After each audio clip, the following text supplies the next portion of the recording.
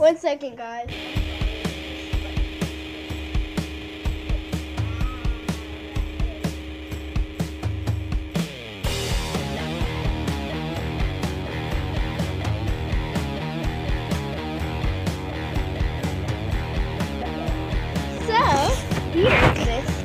Uh, we did the uh, 100 shirt challenge again. Try not to laugh.